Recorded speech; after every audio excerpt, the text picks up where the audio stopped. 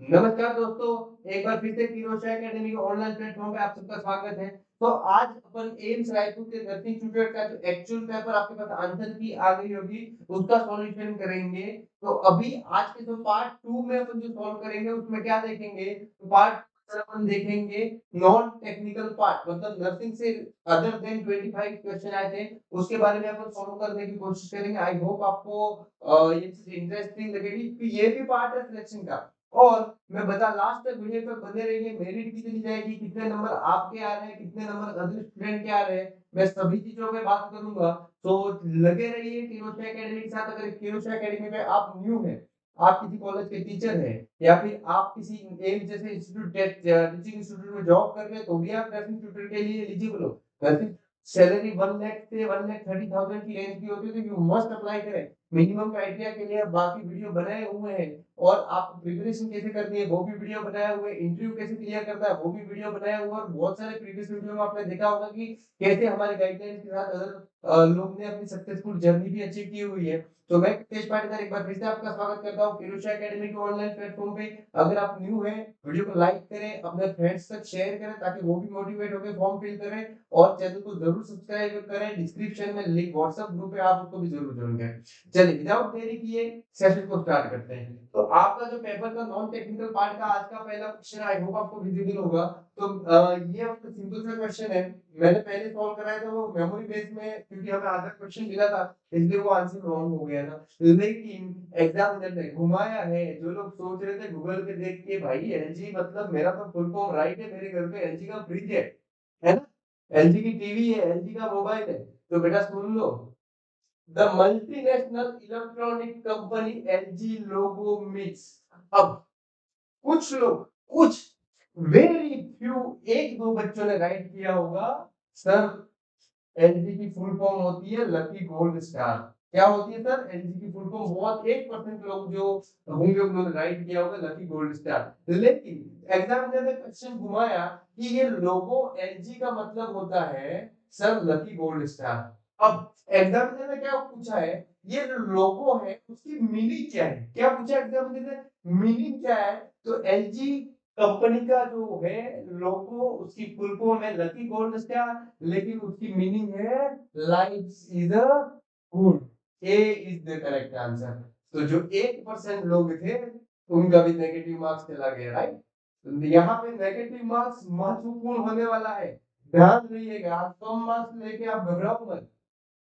Which among the following is the one place where the world nation can get together, discuss common problem and find shared solution? यहाँ ये भी बताऊँगा कि आपने जो question attend किया वो क्यों किया और आपको वो क्वेश्चन छोड़ना था लेकिन आपने नहीं छोड़ा तो गलती करी तो आगे ये एग्ज़ाम में गलती ना दोहराओ तो ये क्या पूछा है वर्ल्ड के सभी नेशन के लीडर एक जगह मिलके वो गाँव में होता है ना, सरपंच एक बरगद के पेड़ के नीचे ऐसे पूरे वर्ल्ड का एक नेशन कहाँ पे इकट्ठा होते हैं, उसे क्या बोलते हैं? यूनाइटेड नेशन इंडिया जर्मनी या दुबई तो सबको पता होगा, ये वाला क्वेश्चन सबने एक मार्क्स लिया होगा राइट सबने यूनाइटेड नेशन किया होगा गुड चलिए next if a user need information instantly available to the CPU it should be stored in. अगर आप फ़र्स्ट ईयर में विजिबल नहीं हो तो मैं चलो इसको लास्ट कर देता हूँ। आप जब फ़र्स्ट ईयर में पढ़े होंगे ना, तब आपको कंप्यूटर क्लासेस ज्वाइन कराई होगी।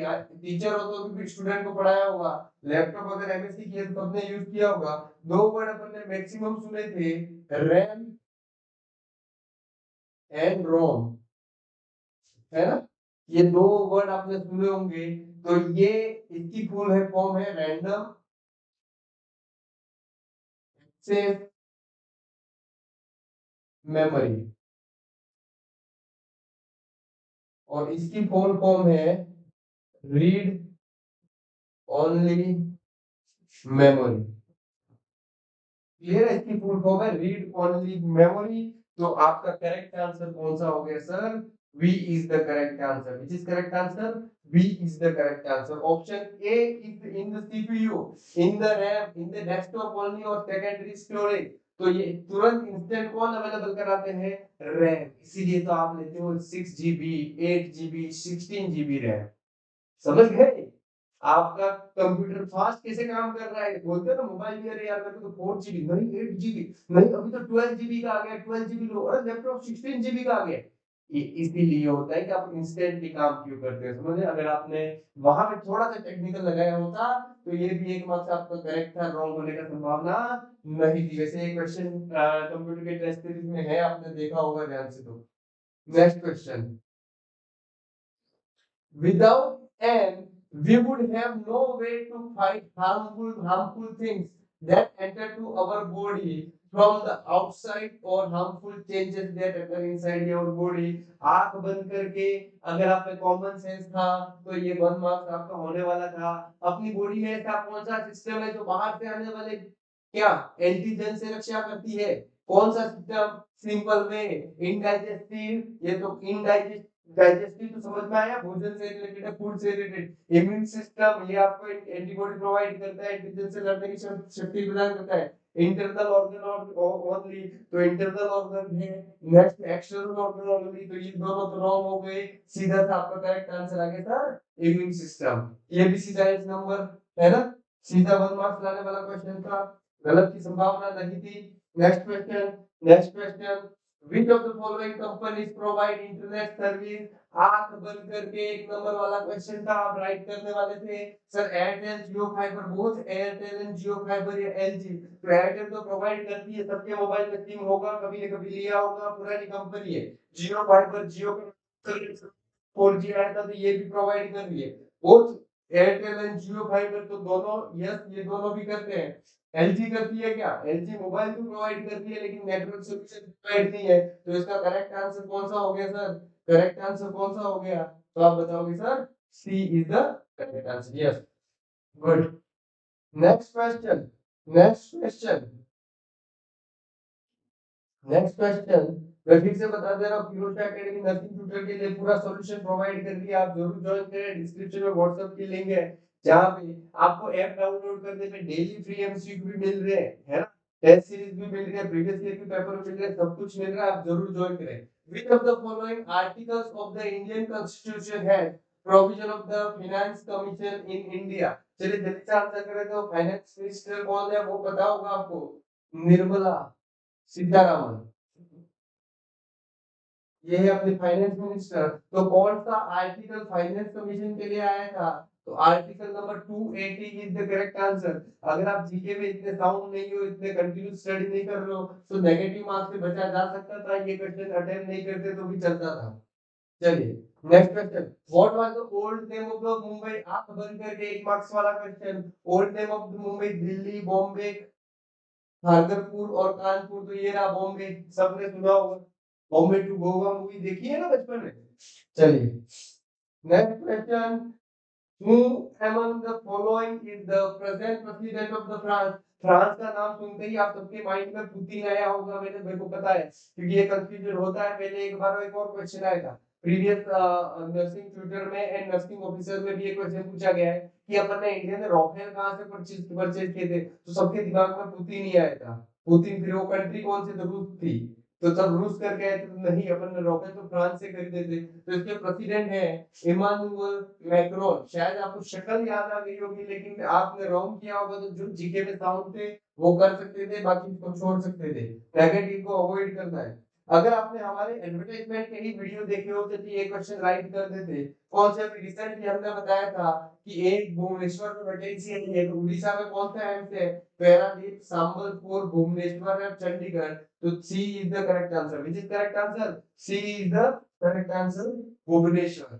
चलिए next question find the correctly spelled word among the following given option so ये अपन ने देखा था, मैंने कुछ वर्ड बताए थे हॉस्पिटल इंजीनियर है ना, हॉस्पिटल इंजीनियर आपके बीओ के सर्टिफिकेट ये कुछ वर्ड है जो, जिसकी स्पेलिंग से रिलेटेड बार बार क्वेश्चन आता है और मेजोरिटी स्टूडेंट रॉन्ग करते हैं। तो ये था certificate certificate sir double T आ गया और सी यू आ गया। तो यहाँ पे B is the correct answer सबके सर्टिफिकेट होंगे तो ये सबका एक मार्क्स आया होगा। किसी का गलत होने की संभावना नहीं है। आपने v1 v2 v3 कम से कम 10th स्टैंडर्ड तक बहुत पढ़ा होगा। I forgot the you that you were saying for another week तो आपने देखा होगा फॉरगेट फॉरगॉट और फॉरगॉटन है ना? ये तो पढ़ा ही होगा। तो ये सब बच्चे राइट कर सकते थे। जिसने भी ग्राउंड किया था होगा, वो मूर्ख ही होगा। इतनी कॉमन सेंस नहीं होगी तो नर्सिंग ट्यूटर आप एम्स डिजर्व नहीं कर सकते। क्लियर है? तो ये राइट करने वाला क्वेश्चन था इजीली माइंड मत करना और बुरा मत मान जाना कि मूर्ख ही होगा, ऐसा बोल रहा है। लेकिन ऐसे क्वेश्चन तो बेटा राइट करने पड़ेंगे, तभी तो आप अपनी ड्रीम जॉब अचीव करोगे ना। ये ये आपके जो नॉन टेक्निकल आते हैं ना, वो क्वेश्चन आपके टेंथ स्टैंडर्ड के बेस के आते हैं, ध्यान रखना है। चलो। तो मुझे पता है, एकदम मैं बाद में जब अभी आंसर की देख रहे हो, मैं सब बोल रहे हैं, सर, हम तो सिली सिली क्वेश्चन गलती कर दिए। ये सिली बेटा आपको ड्रीम से नीचे आसमान से फ़र्स्ट पे फेंकता है, ध्यान रखना।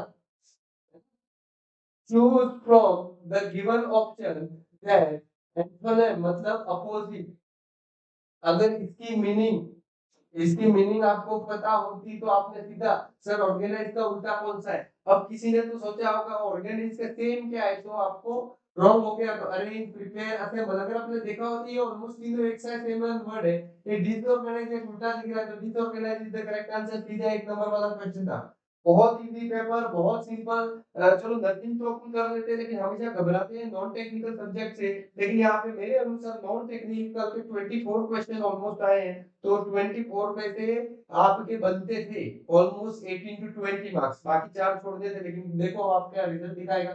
Find out the appropriate option to correct the given sentence. I reaches school by 8 in the morning. एक मार्क्स वाला क्वेश्चन सीधा आपका एक मार्क्स होना था। क्यों? भैया, क्यों? आप अकेले हो सिंगुलर हो सिंगल पर्सन हो आई लिखा है तो सिंगल पर्सन में प्लूरल नहीं लगता है सिंगुलर लगता है तो यहाँ पे रीचेस लिखा है। तो इसके अनुसार on the morning school on the night school on the eight I reach school I am I reaching school तो ये आपका C is the correct answer I reach school by eight in the morning में हर रोज सुबह आठ बजे school पहुँचता हूँ। Next question choose the appropriate word from the following option to make the meaningful sentence sentence there is basketball court where I live यहाँ पे डैश डैश है। तो देयर इज़ बास्केटबॉल कोर्ट वहाँ पे बास्केटबॉल कोर्ट है। Dash dash dash where I live मैं जहाँ पे रहता हूँ। So there is basketball near for among during तो there is a basketball court near where I live मेरे घर के पास में बास्केटबॉल कोर्ट है। A is the correct answer चलिए नेक्स्ट क्वेश्चन मैथ से क्वेश्चन पढ़ाया हुआ क्वेश्चन चलिए जल्दी से आंसर कीजिए। ये सेवन नहीं है। An item is sold for 680 rupees कितने? 680 रुपए में बेच दिया after a discount of the 15% कितना परसेंटेज डिस्काउंट है 15 on the market price find out the market price market price क्या होगी? बेटा, ये सिंपल चीज़ है, देखो। हाँ इसके लिए फॉर्मूला अपना होता है मैथ रीजनिंग की पूरी क्लास मैंने प्रोवाइड की थी इस एग्ज़ाम से पहले। आई होप आपने अच्छे से गो थ्रू की होगी और करेक्ट आंसर किया। अगर फॉर्मूला के थ्रू नहीं जाना है तो सिंपल चीज़ है। भैया, मैंने बेचा कितना? सेलिंग प्राइस कितनी थी? 680 डिस्काउंट कितना लिया? 15 परसेंटेज कितना? 15 परसेंटेज मतलब कि आपका आंसर क्या होगा? 680 से मोर देन होगा। बराबर? तो यहाँ पे 680 से जितने कम है, उसको गलत कर दो। ये तो आपका निकल गया रॉन्ग करेक्ट अब कितना परसेंटेज डिस्काउंट दिया है? तो 15 परसेंटेज कितना परसेंटेज 15 परसेंट अब देखिए अदर ऑप्शन 800 872 या फिर 880 तो अब 800 का 10 परसेंट करें तो कितना डिस्काउंट होता है? 80 रुपीज़ फिर 800 का 5 परसेंट और डिस्काउंट करें तो कितना होता है? 40 रुपीस अस्सी का आधा 40 तो ये दोनों कितना होता है? 120 ऑप्शन वन से कैलकुलेट करो छह सौ अस्सी प्लस एक सौ बीस, ये हो गया आपका आठ सौ। तो आपका आंसर आ गया ना? तो कभी कभी ऐसा नहीं है कि आपको नॉलेज के थ्रू ही अंदर जाना पड़े कभी कभी कॉमन सेंस यूज़ करो, ये रहा आपका एक नंबर। चलिए, ये थोड़ा सा कंफ्यूजिंग था, आप छोड़ भी देते तो चल जाता। Plus 6.4 percentage as a fraction अब इसमें कैसे पता मिनट लग जाएगा। तो 18 बाय 125 80 बाय 125 8 बाय 120 8 बाय 125 तो यहाँ पे करेक्ट आंसर कौन सा था? D is the correct answer जो तो लेंथी थे, उनको छोड़ सकते थे। जो आपको इजी थे, उसको अटेंड करने थे। अपना मेन मोटो क्या था? सर मुझे चॉइस में से 20 नंबर लाने। तो मैंने बता दिया जो 20 क्वेश्चन आप राइट करने वाले क्वेश्चन थे in the following number series, only one number is wrong. Find out that. अब ये नंबर सीरीज़ तो कभी आपका रॉन्ग नहीं होना चाहिए। थोड़ा सा दिमाग लगाओ। देखो, आठ, मैं बताता हूँ। Eight, thirteen, twenty one, thirty two, forty seven, sixty three और एटी थ्री। अब यहाँ से फ़र्क करना थोड़ा सा दिमाग लगाना है। एट और थर्टीन में कितना डिफरेंस है? तो सर आप बोलोगे कितना? सर, पाँच अंक का डिफरेंस है। कितना? फाइव बराबर? थर्टीन और ट्वेंटी वन में कितना डिफरेंस है? तो आप बोलोगे थर्टीन और ट्वेंटी वन में एट का डिफरेंस है right twenty one to thirty two में क्या डिफरेंस है? तो आप बोलोगे twenty one to thirty two में इलेवन का डिफरेंस है right thirty two to forty seven में कितना डिफरेंस है? Thirty two to forty seven में कितना डिफरेंस है? फटाफट कीजिए। तो आप बोलोगे सर फिफ्टीन का डिफरेंस है। ठीक है? Forty seven to sixty three में कितना डिफरेंस है? 47 टू 63 में कितना डिफरेंस है? 63 माइनस 47 कर लो ना। 13 और 7 6 ओके वन 16 का डिफरेंस है है ना? तो यहाँ पे सिंपल सी चीज़ थी, तीन तीन तीन बढ़ रहा है, यहाँ पे 17 का डिफरेंस आएगा। तीन तीन तीन बढ़ रहा है, कहते five plus three eight eight plus three eleven eleven plus three तो फोर्टीन होना चाहिए। मतलब इलेवन प्लस थ्री, फोर्टीन होना चाहिए, फिफ्टीन की जगह। तो यहाँ पे थर्टी टू प्लस फोर्टीन आता तो यहाँ पे फोर्टी सिक्स आना चाहिए था जबकि यहाँ पे फोर्टी सेवन दिया है। फोर्टी सेवन दिया है तो आपका मेरे हिसाब से यहाँ पे करेक्ट आंसर मिल गया फोर्टी सेवन। ये रॉन्ग है, यहाँ पे फोर्टी सिक्स आना चाहिए था। टाइम कंज्यूमिंग ज़्यादा टाइम नहीं कंज्यूम करना है। चलिए next question the average of the series. First 11 member की सीरीज़ का एवरेज है 43 the average of the first 11 is 33 इनका कितना है? 33 और 21 टोटल कितने हैं? 21 का एवरेज है कितना? 43 तो मतलब टोटल 76 होंगे बटे 2 सो 86 ना राइट 86 अपॉन 2 करेंगे। तो आपका आया 30 43 इज़ द एवरेज अब पहले फ़र्स्ट 11 के तो 33 है और पीछे से 11 करें तो ये भी आप मान लो कि कितना मान लो? सर, इसका एवरेज है 53 इसका एवरेज है 53 तो टोटल हो गया 86 टोटल हो गया 86 के नहीं हुआ? तो आपका, इसका करेक्ट आंसर क्या था सर ये जो आपका 11 वाला नंबर था, वो था 43 वो था 43 ज़्यादा डेप्थ के लिए पूरा डिटेल में जाना पड़ेगा बन को। चलिए नेक्स्ट नेक्स्ट क्वेश्चन आपके स्क्रीन पे है। नेक्स्ट क्वेश्चन आपकी स्क्रीन पे है, फटाफट से आंसर करें। फटाफट से आंसर करने की कोशिश कीजिए नेक्स्ट क्वेश्चन ओके समझ में आ रहा है ना? नेक्स्ट क्वेश्चन जल्दी से रीड आउट कीजिए। मैथ रीजनिंग का क्वेश्चन है। लैपटॉप की बैटरी थोड़ी डाउन हो गई है, उसको थोड़ा चार्ज पे लगा देता हूँ मैं। नहीं तो भी शट डाउन हो जाएगा। Sorry for disturbance. I hope you can understand. Yes. Okay, uh, it's working fine now. Okay.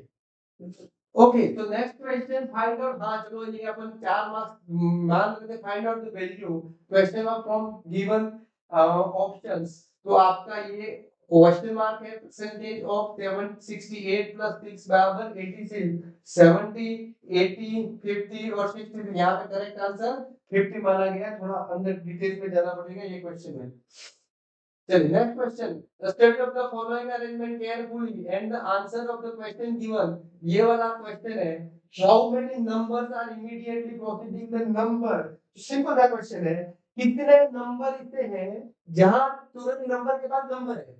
एक बार आँख बंद करके कर लो, इसका गलत नहीं होना है। Sir GST percentage M E L two यहाँ पे टू है। टू के बाद एम है तो ये रॉन्ग हो गया।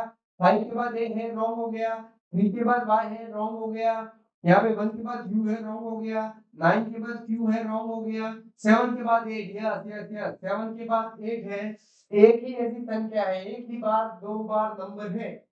समझ में आ गया? Yes next pointing to a woman i said pointing to the woman i said she is the mother she is the mother of my father sister मतलब मेरी बुआ जी माई फादर सिस्टर की मदर है मतलब मेरी फादर की mother हुई राइट राइट यस तो मेरी फादर की मदर मेरी क्या हुई grand father grand mother mother sister grand mother quite simple एक मार्क्स बनने वाला क्वेश्चन है ना? इजी है? इजी है? यस संदीप माहेश्वरी की सुनाइए ना, आसान है? आसान है। चलिए। Two bus ticket from city P to B three ticket from the city P P to C cost 77 rupees. But three ticket from the city, P to B, and two ticket from the city, P to C cost 73 rupees 73 what are the fare for cities B and C from P? तो यहाँ पे थोड़ा सा lengthy question है। आप इसको skip भी कर सकते हैं। अगर स्किप नहीं करते तो आप जा सकते हो। अगर आपने मैथ रीजनिंग की क्लास पूरी देखी होती तो आप 30 मार्क्स का करेक्ट आंसर ला सकते थे। चलिए नेक्स्ट सीधा एक मार्क्स लिख दीजिए। Choose the word from given option to complete analogy analogy की क्लास ली हुई है yes needle is to tell needle कौन यूज़ करता है टक टक टक टक कपड़े सिलवाते हैं ना टेलर पेन इज़ टू अब ऐसा मत बोलना needle is to sister series के अंदर यहाँ पे ऑप्शन नहीं है पेन इज़ टू पेन कहाँ पे टेबल बॉटल पोइट या तो पेन टेबल का कोई कॉम्बिनेशन है? पेन पेपर पे लिखते हैं, हो सकता है। पेन बॉटल बॉटल के अंदर रखते हैं, लेकिन मीनिंग वो नहीं निकलती है। तो पोइट पेन जैसे टेलर के लिए निडल इंपॉर्टेंट है इसलिए पोइट के लिए आपकी पेन के लिए पोइट के लिए पेन इंपॉर्टेंट है यस यस ये क्वेश्चन बहुत ही लंबा लग रहा है, लेकिन बहुत इजी है। Study of the following information to answer the given question in certain code. Table is to chair is written as a la pa ma si. La pa ma si. To are you would is written as a ma ne ta मतलब ये to है मा है आ है ने है you है ता है वुड है रा है तो आप उनको मैचिंग कर देंगे इसमें ठीक है कि दोनों के मैचिंग वर्ड क्या है। तो यहाँ as wood chair is written as as पाने ही आप स्क्रीनशॉट लेके कर सकते हो। इस table cold is written as a ला से का sweet are cold is written as a का टेरा and hills are chair is written as a paraha what is the code of the hills? अब यहाँ पे इसका कोड पूछा है। तो यहाँ पे इंपॉर्टेंट क्या है? Hills का पता लगाना है। Hills are चेयर राइट इसकी मीनिंग क्या दी हुई है? इसकी मीनिंग दी हुई है आ, पा रा हा अब देखिए हिल्स आर चेयर तो इन सेंटेंस में आर किसमें दिया हुआ है? तो ये देखिए sweet are cold yes sweet are cold तो आर इसमें भी है और आर इसमें भी है? अब देखिए इन दोनों में कॉमन कौन सा है? तो इन दोनों में आप कॉमन देखोगे तो कॉमन कौन सा है? रा तो आर का मतलब हो गया रा मिल गया? अब चेयर जुड़ी है चेयर किसमें है? हिल्स आर चेयर और किस, कौन से वर्ड में चेयर है? देखो देखो देखो यार। ए, जुड़ चेयर इन दैट पा, ने, ही। पा, ने, ही। पा, ने, ही। तो चेयर इसमें इसमें भी पा है चेयर का और इसमें भी पा है। तो चेयर की मीनिंग क्या हो गई? पा। समझ में आ गई? चेयर की मीनिंग क्या हो गई? पा। तो ऑटोमेटिकली बचा हिल इनका करेक्ट आंसर मिल गया। ए, हा is the correct answer yes बेटा, आसान है कि नहीं है? यस तो ये आपने पार्ट टू सॉल्व किया। टेक्निकल पार्ट आई होप ये आपके लिए मददगार रहेगा। तो आप मेंशन देखो चाहिए मेरिट है ना जिसके भी 50 आपने जनरल कैंडिडेट के 54 से 58 से ज़्यादा है, उनके जनरल के हो जाएगा। एसटी एससी ओबीसी और जनरल जनरल और ओबीसी ठीक है? एससी एससी का देखें एसटी एससी का देखें तो 52 प्लस वालों को होने का चांसेस है ये रिटर्न में इंटरव्यू में बुलाने का चांसेस है मैं बता दूँ मार्क्स ज़्यादा नहीं आ रहे। है ना? मैक्सिमम यही रेंज है 64 टू 68 यही रेंज है स्ट्रेंथ का। तो यहाँ पे जो है तो लग जाओ आप इंटरव्यू में परफॉर्मेंस करने, क्योंकि एम्स रायपुर ने बोला था सर 50 परसेंटेज रिटर्न का weightage 50 percentage of the interview interview आपके रिटर्न में अगर बाकी बच्चे जो 55 वहाँ पे 64 में तो 10 मार्क्स इंटरव्यू में लग जाओ सिलेक्शन के लिए और आगे बढ़ो। श्योर सिलेक्शन आपका। आप भी कम नहीं माने, आप इंटरव्यू में हार्ड परफॉर्मेंस करें आपका भी नंबर आएगा राइट समझ में आ गया? आसान लग रहा है? हो सकता है? यस ट्यूटर बन सकते हो? यस ओके तो अब part three part four and part five will coming soon keep following Kirosha academy आपके फ्रेंड्स तक ज़रूर पहुँचाए हम जेन्युइन बेस पे हम आपकी हेल्प करना चाहते हैं। जितना हमारे पास है, हम आपको देना चाहते हैं। अगर आप किरोश एकेडमी डाउनलोड करोगे तो उसके स्क्रीन पे लिखा हुआ फ़र्स्ट स्क्रीन पे आता है। If we can then you also can अगर हम कर सकते हैं तो आप भी कर सकते हो। बिल्कुल 110 परसेंट आप कर सकते हो। कॉन्फिडेंस तो लीजिए अपने आप को मोटिवेट है अगर आपने 25 से ज़िंदगी 30 साल चौक दी है तो छह महीने और सही, छह महीने और सही, छह महीने में आपके सिलेक्शन आपके हाथों में होगा। Thank you very much for joining this session kindly download the Kirosha academy description में लिंक दी हुई है। Thank you